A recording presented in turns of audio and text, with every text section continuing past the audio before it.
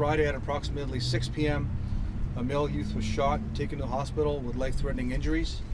Uh, what I can tell you about this uh, this young man, this teenager, is that he's a 16-year-old, uh, avid sports player, uh, visits school, and uh, a good good student at school. Uh, he was waiting at the bus stop to go actually play a volleyball game. at the time he was shot. We do not believe that there is any relationship at this time between this young man uh, and the other victim or the offender.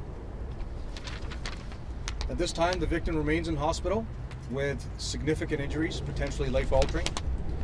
Um, yesterday, the chief, myself, accompanied by the detectives, uh, went to the hospital. Uh, we met with the mother of uh, the young man who is very traumatized by what has occurred, but is thankful that her son is alive.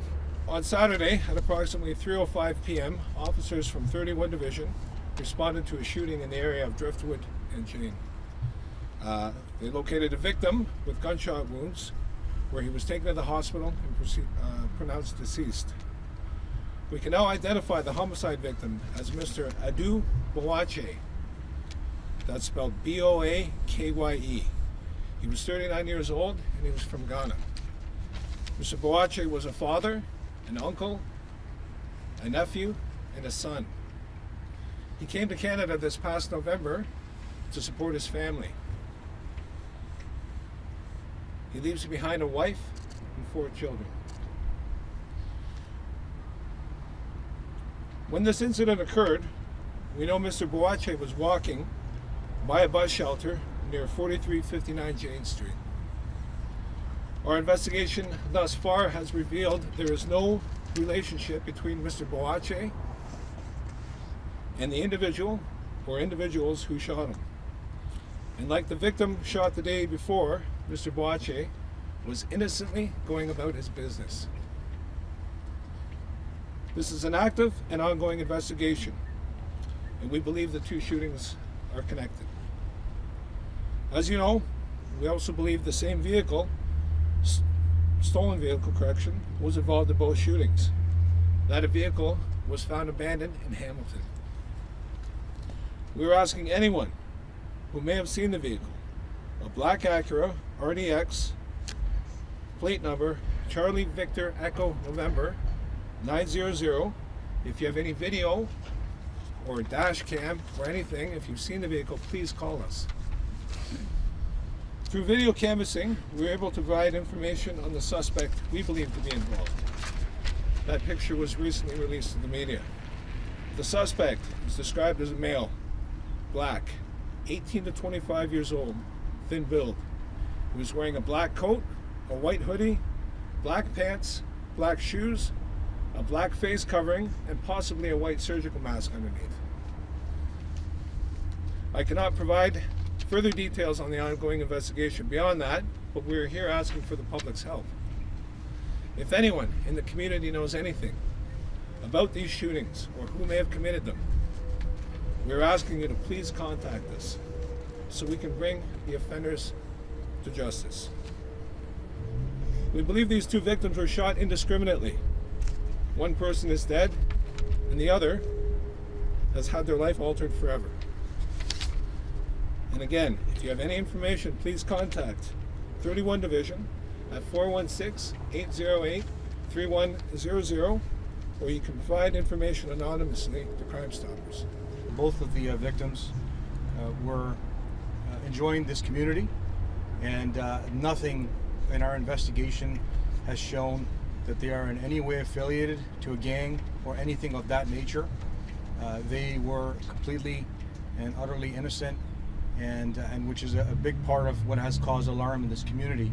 And speaking to that piece uh, is the reason why not only we're here giving you this information, it's thanks to your efforts that we found the vehicle. We also want to get to the community that we're going to be in, in this area on foot, uh, listening to you, listening to your concerns. This command post uh, is here.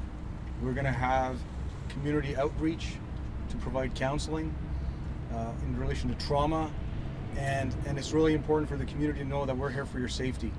Uh, we take these incidents very seriously, I have the utmost faith in the homicide squad and, and investigating this and bringing the perpetrator or perpetrators to justice. But really, the, the final piece is to know that we're truly committed uh, in being here and being part of the community, and we're listening, and we need the community's support. Uh, we have released the image of the suspect. Please take a look at who this individual is. Uh, this individual took uh, upon themselves to carry out actions that has left one person dead and obviously uh, injured a 16 year old who was on the way to a volleyball game. And that's the piece that really needs to resonate and understood. So we're looking for the community's help in identifying this individual and any other information that can assist us, whether they want to contact 31 Division, uh, that's where the homicide unit is working out of, or Crime Stoppers at 222 Tips. So shots were not fired from the vehicle. It was someone who was outside of the vehicle approaching the suspect and firing. Correct. Correct. Is there a theory behind this? Could this be gang initiation or something like that? So that's a, that's a very valid question. Uh, I can tell you that they're actively investigating uh, witness interviews, canvassing, and the offender will tell us that. And what that is, is understanding what their motives were. Uh, once we have apprehended this person, that's going to come forward.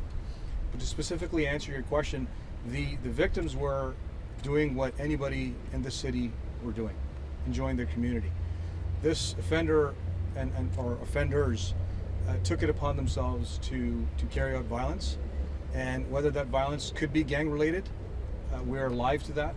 And that is a possibility. I know it was alluded to by the inspector on the weekend. Uh, whether this, this has hallmarks of gang violence, it does. But all those things are going to come forward as we as we unpack this, as we investigate this more, and investigate the vehicle, and with the public's assistance, identify this suspect. I believe the individuals, people in the community that know this individual, I don't think it'll be difficult, uh, and that's where we're seeking people's assistance. Uh, that the image that has been released, uh, I believe, will provide uh, an opportunity for people to hold this person accountable for their actions, and that's where we're looking for the assistance.